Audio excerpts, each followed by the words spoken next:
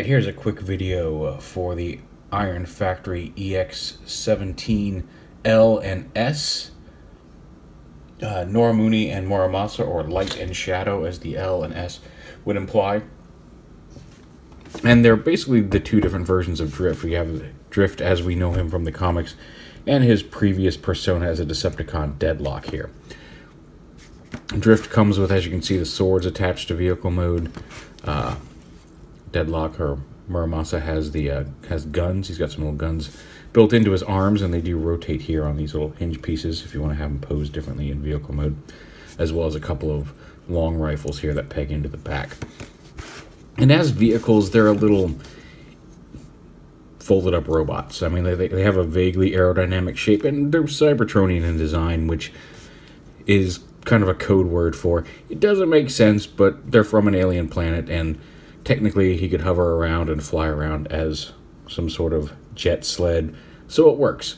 And um, I would have liked to have seen some cooler vehicle modes. I would have liked it if maybe we'd gotten Drift as a car, um, more or more at least more like his. I don't know. I, I wish the vehicle modes were a little bit more visually engaging. I guess is the, is the word I want to work for. They're just kind of kind of folded up robots. The hands are visible up top, and the official transformations do show the hands folded up like this, like here on Muramasa, where you can see them. Uh, but if you want to hide them a little bit better, you can rotate them a little bit so they're not quite as obviously fists from most angles on vehicle mode. They'll still look like hands from the side, but they're not quite as visually obvious from the top if you fold them, if you just rotate them there at the wrist.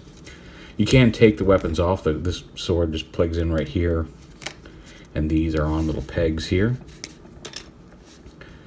Personally, I think the swords look weirder here on Norimune than uh, the guns do on Muramasa. The guns here, the way they plug in, they actually look like they're part of the vehicle mode. The swords just look like swords pegged on to the sled.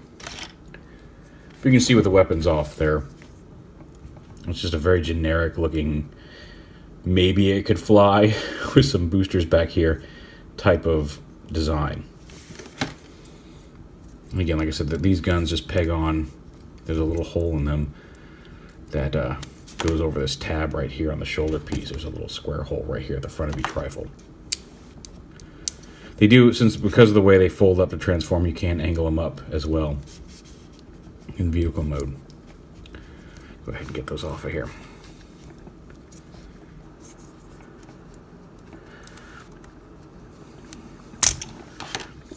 You can see, despite being the same character, and while they do have the same basic overall transformation, visually they are a little different from each other. Uh, Light has the uh, Drift here has the, has the lower fins and not so much on top, whereas uh, Deadlock has this little red bit with the fins here and these up you know, vertical golden fins. But uh, you can see the lower lower halves down here. The, the, the crotch plates are different as well. This one actually has pegs on it that, that these can peg onto. Uh, actually, this one does too, but the, the, shapes are slightly different here on these uh, things, which we'll see in robot mode. The transformation, though, is exactly the same for the two of them. And that you fold these down, little shoulder pads down, untab the arms from the side of the torso. You see these little tabs go in here. And then the legs come out. I'm going to bring the foot down. They're kind of holding these hinges in open up this little circular piece here on the inside of the leg. And then the legs collapse a lot like Combiner Wars figures. You bring the joint up. And once it's fully extended, you close this cap and this little tab right here will peg into the circle piece. To lock it in and then rotate it forward. Bring the foot all the way down. Some of the joints on these are very tight. Uh, this this ankle joint on drift was super tight on both legs on mine, almost to the point where I thought I was going to break them. And there's there's a few little places that are tight, and part of that just comes from the size. When you have a really stiff joint on a figure this small, these little pieces can lift up a little bit. You want to be extra careful because because of the size, that those joints are very tiny. You don't want to risk snapping them. Also, these elbow joints here. The first time I transformed, these have gotten a little better since. Uh, the first transformation, but these elbow joints here were also super tight on the first time I transformed it. So if you get one brand new, uh, do be aware of that and take some caution when uh, collapsing them up for the first time they come packaged in robot mode. Then you turn his head around. And there he is in robot mode. These gun, uh, guns, these swords, uh, can peg onto the waist here. They can be held in his hand as well. And again, if you rotated the wrists, rotate the wrist forward so the hands face the proper way. Be held like that, and the larger sword can plug into that same hole it was on in vehicle mode to sit across his back. So you can store all the weapons on him or have him hold them. Personally, I like to just have these two on the on his hip skirts and then uh, have him hold the long sword. But it's entirely up to you. Now, when he's holding as a sword, that big peg is a little bit of an eyesore, especially on a figure this size, since it's a standard 5mm peg. But um, not too bad. Bring the shoulders down, which will give him a little bit more clearance here. So there's the drift version in robot mode. And like I said, it's exactly the same thing here for deadlock. You gotta unpeg these. It looks like I already knocked one of those out. And extend the arms down. Now his joints, while still tight, were not nearly as scary as Drift's version was. Uh, they were they were a little loose right off the bat. Except this one of these hinges here was really tight. I think it was this one right here. Was super tight where I almost felt like I was going to break it untabbing it. But it's the same process. Bring the feet down. Extend the joint. Lock this into place.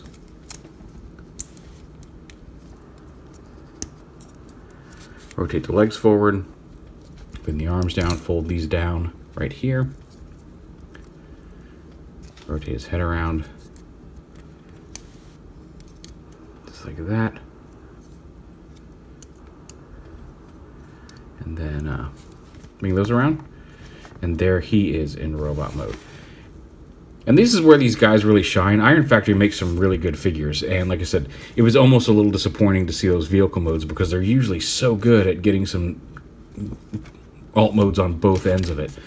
Uh, but their robot modes really shine. And honestly, let's face it, a lot of people, why you could display them in vehicle mode, and some people do, I, I do think a majority of collectors display their figures in robot mode.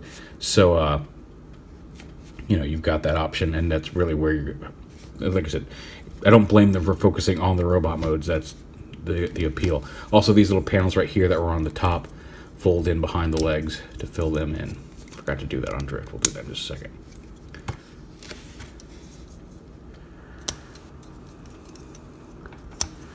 So yeah, so you don't have any gaps in there. And like I said, the robot modes are really nice. This little waist, uh, here's the the back panel. I can lift up and down on both of them, and you can see they they are different. Uh, it's more armored. It doesn't have this little squarish or rectangular piece on here, but it's got a couple little silver panels there, whereas his is a little truncated and doesn't have the detail. Again, the little forearm guns can rotate if you wish to use them like that, and he can hold both of his rifles. It does look like he's got some peg holes up here, or maybe, no, it doesn't work. It looked like maybe you could use these to maybe peg him onto his shoulders, but you can't. So he's got to hold his rifles. He doesn't really have... I guess you could conceivably, you might be able to, ah, it doesn't look like, you probably wouldn't have the clearance, but the tab is up there. You might be able to find a position in which you could tab those on to the shoulders, but he's going to look better with them in his hands anyway, I think. But you can see the differences between the two, different head sculpts, uh, the different chest, chest plates um, despite having the same transformation. And they do share some parts. A lot of the, uh, the lower legs, especially, are, are very similar, although this guy does have the little side pieces here are different between the two of them. The main leg pieces are identical. They're just distinguished by paint. But the upper body, like I said, the, the arms look like they may share. The forearms would be the same, except this one's obviously molded to allow the guns. So it's nice to see that, like, despite sharing a transformation scheme, and a similar vehicle mode. They are visually distinctive here in robot mode. They're quite posable. Um, they've got a little ball joint head. Can't look up so much because of the way the head hits this back plate here. But they are there. They've got hinges here at the shoulder, ball joints within the shoulder itself, uh, hinge there at the elbow. Uh, you've got the ball joint here in the forearm piece as well as the transformation hinge, so you can get some decent, not so much with his gun in the way, but you can get a pretty decent forearm bend out of them. There's the aforementioned wrist swivel. Uh, no bicep swivel because of the way that hinge works. Waist swivel, which is not required for any part of transformation, but it's nice that they put that in a figure this small. Ball joint hips, rotating thighs, hinged knees. Again, you can get it up to about 90 degrees with that panel in place. If you flip that panel out, you can get a little bit more. Not much, but a little bit. And then hinged. Excuse me.